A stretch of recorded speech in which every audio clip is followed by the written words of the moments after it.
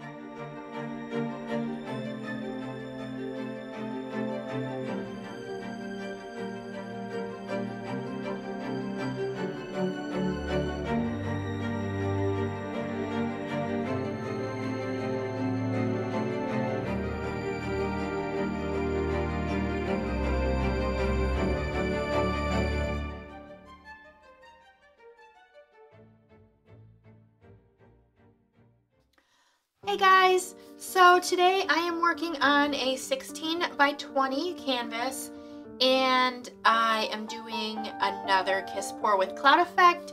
It is actually one of my favorite techniques so that's probably why I do more of them probably than anything else um, just because I love all the clouds and the colors and everything. So I'm just gonna go ahead and start putting the paint in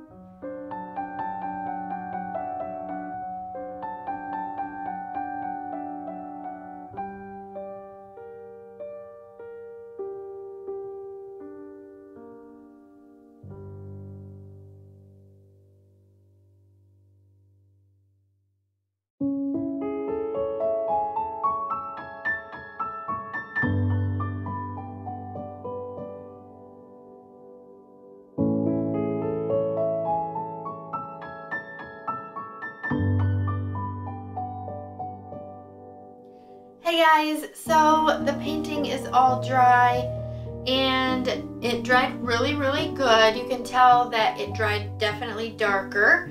Um, I got all kinds of cloudy effect in this one and a bunch of little cells all over it.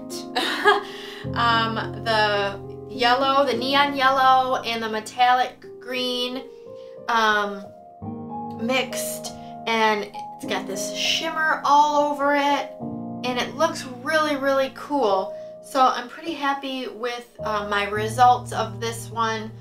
Uh, the cloudy effect is really, really crazy in the middle, um, but I love it. So super happy with how it looks.